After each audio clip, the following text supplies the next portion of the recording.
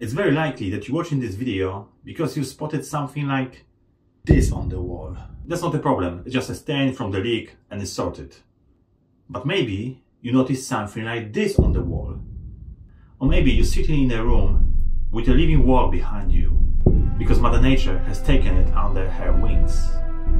Let's hope it's just a little spot of black mold. What? Black mold? Honey, I'm making video. Anyway, in this video I'd like to explain you everything about the black mold, moisture, condensation and dampness.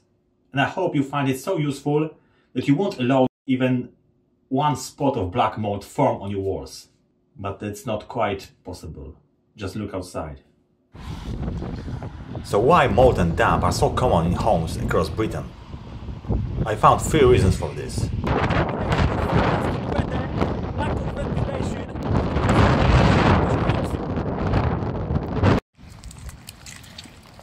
Average annual number of rainy days in the UK is 160. Stop. 160 days of rain. Sounds not bad. So the remaining 205 are without rain. Yeah, but it doesn't mean that the weather was fantastic. The average temperature in the UK in 2021 was only 9.2 degrees Celsius. You know, 14 July in Gibraltar and minus 10 in January in Scotland makes average 9.2 degrees Celsius or 48.7 degrees Fahrenheit. And when you add to this the age of the UK houses and how they were built in the past, then you have a ready receipt for disaster. Old houses were often built with inadequately fitted if any insulation at all. Also a real damp proofing was not quite achievable. Over time the houses become more airtight but sometimes poor workmanship resulted in a lack of proper ventilation, which often led to too much moisture and mold growth. And unfortunately, most of us has to live in a house that was built more than 50 years ago. And 50 years ago, building regulations were way less demanding than now. For example, in 1965, a building regulations required loft insulation of U value of 1.4. Nowadays, you can achieve it by fitting only 2.8 cm thick wool insulation. Today's requirements are 0.13 and to achieve this you need to fit 25 to 27 centimeters thick insulation. So in effect, we need 10 times as much insulation as 50 years ago. This was just a sample with the loft insulation, but the same story is with the doors, windows, wall insulation, roof. Obviously the old houses are more exposed for damp and mold, but it doesn't mean that damp and mold cannot happen or care in a new, new houses. But don't worry if you live in an old house that is 50 years old or more, you can always improve it unless you live in something like this. Then the black mold is not an issue, because you've got outstanding views and perfect ventilation. Damp and mold are serious problems, and they always go together. Both damp and mold are caused by excess moisture in a building. So let's crack on the mold first. So what is black mold or toxic black mold? Black mold is a species of microfungus that loves a humid environment. Mold will grow in places with a lot of moisture, such as around leaks in roofs, windows, pipes or where there have been flooding. Mold grows well on paper products, cardboard, ceiling tiles, wood and also in dust, paint, wallpaper, insulation, drywall, carpet, fabric and upholstery. In the right conditions, mold can begin to grow within as little as 24 to 48 hours and over time a small patch of mold can turn into a huge mold all over walls. Black mold can be dangerous. Molds produce allergens, irritants and toxic substances. Inhaling or touching mold spores may cause an allergic reaction such as sneezing, runny nose, red eyes and skin rash. Molds can also cause asthma attacks. Sounds pretty scary, isn't it? So how to get rid of a black mold? There are a lot of products in the shops that eliminate black mold. Actually, to remove mold from the walls or ceiling, you don't even need to buy an expensive chemicals. White vinegar will do the job. You can wipe the black mold off the wall easily, paint it over and all look good, but think about your health and your family. Everything looks fine now, but for how long? After all, this mold on the wall must have caused something. Mushrooms don't grow on the ceilings just like that. Mushrooms grow in humid conditions, in the forests, not in the deserts. To get rid of mold out of your home, you need to investigate the cause of its formation. Damp and mold are caused by excess moisture. Damp refers to the presence of excess moisture in a room or building. Moisture is the presence of a liquid, especially water. There are several ways of how moisture can get into the building and cause damp and black mold. Rain can get in through leaking roof, damaged flashing or cracked chimney. Blocked or damaged gutters, cracked exterior wall or missing pointing between bricks. But that's not all.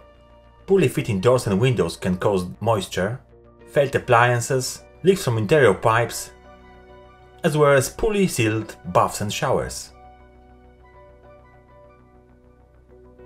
Moisture could get into the building through the soil. Groundwater can rise up to the walls and floor if the damp-proof course is damaged or missing. Hold on a second. But you checked the bathroom, the loft, the basement, all the walls around the house. You checked uh, all the water pipes. There's no visible leak or damage. In fact, you live in a brand new house. But you still feel this kind of moisture in the air. Or maybe you've got a mold on the walls. So then, the problem might be condensation.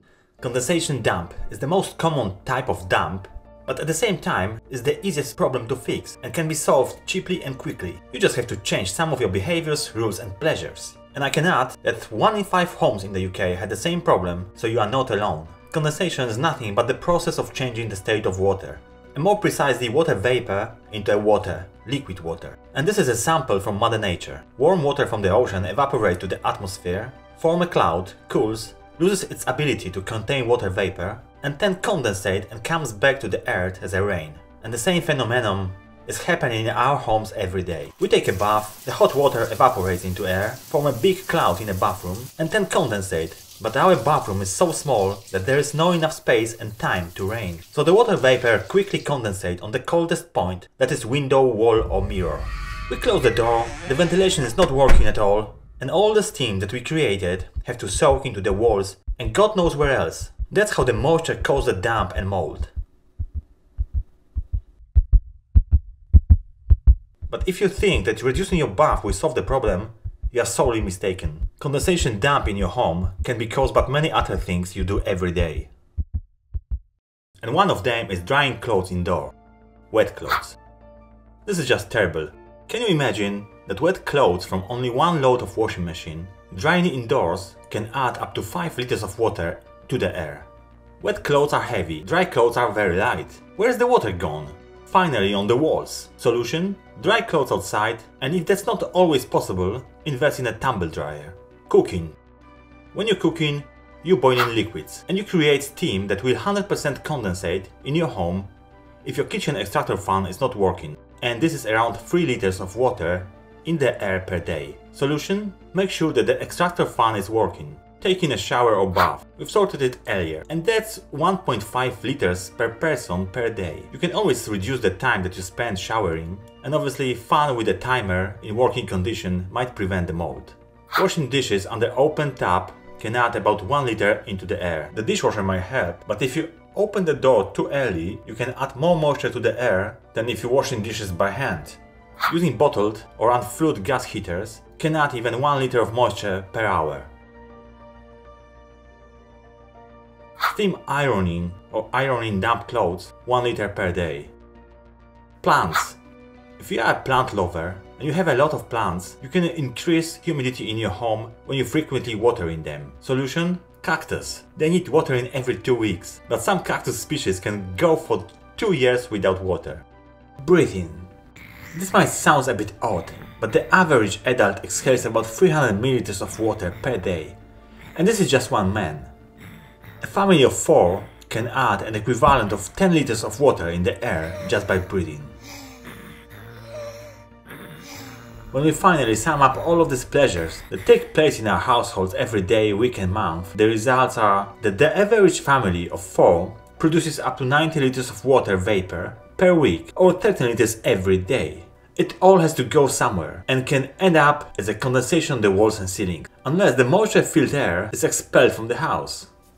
So if you seriously can't reduce any of these daily activities, maybe apart from breathing, and you still got the mold on the walls, I've got a solution for you. Fix the ventilation.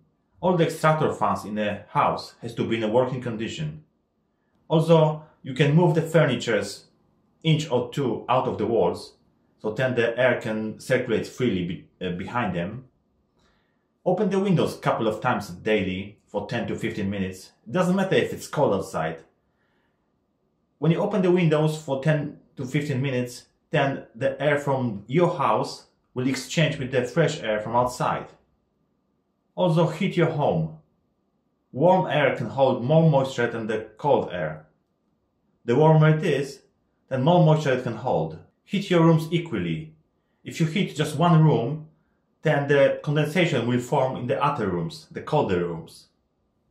And there's one quite essential thing to have if you're dealing with the condensation. The humidifier. This thing is designed to extract water from the air and reduce humidity in your home to the level that you choose. The ideal relative humidity at home should be between 40 and 60%. Humidity over 60% can cause mold and damp. Humidity below 40% can cause dry skin, lips and hair, scratchy throats and noses. The humidifier will help to keep good level of humidity in your house. There is a downside as well. The humidifiers are not cheap to run, and for example the weekly cost of energy consumption by 250 watts model is about 8 pounds 8 pounds per week. 500 watts model, when run like 12 hours per day, weekly it costs 15 pounds. And 750 watts model, 12 hours a day for the week, 22 pounds. But my wife is crazy about this device. The winter months in our home pass with the soft rustle of the humidifier in the background. But trust me, it's worth to have it. Every day it collects about 3 liters of water from the air, plus this guy eliminates any unpleasant odors created by moisture in the air. It also improves overall air quality in the house. And finally, we came to the end of this video. Uh, I hope this was useful and helped you sort out the mold and damp problems in your house if you've got any. Uh, there's one more thing before you start fighting with the mold I want to show you.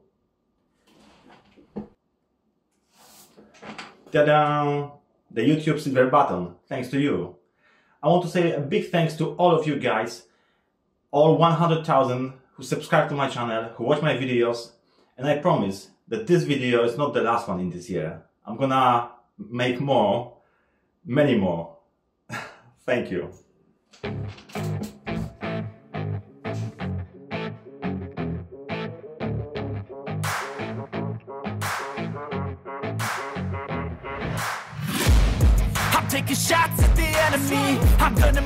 The top, leave a legacy. If I got something to say, you better let me speak. Turn it up a new degree, bitch you ain't seen anything. I pop off with the new rock. Electronic, blow the sonic roof up. I'm too honest when I take a few shots. They're too toxic, need to take a new song. And you cannot save me Cause I don't need saving